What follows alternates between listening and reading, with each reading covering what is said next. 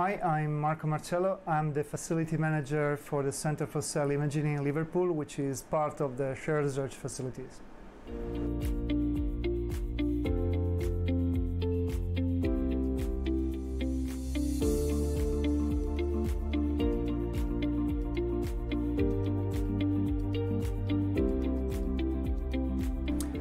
The reality of the microscopy facilities on a global scale because um, as I said, we, we cover all the continents in this survey, is a very fragmented one.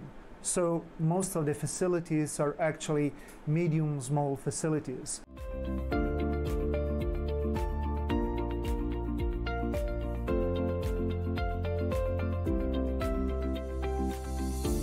One out of ten in the world of the facility is fully funded.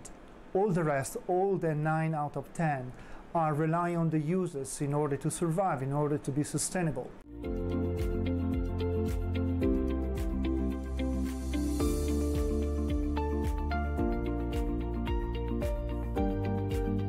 This tells something about the daily struggle of um, many of the facility managers that had facilities across the world to deliver all what is requested in terms of service, so in terms of taking the pictures that a user wants you to take, but also in terms of research, because uh, most of the facilities we found out are very active also on the research field.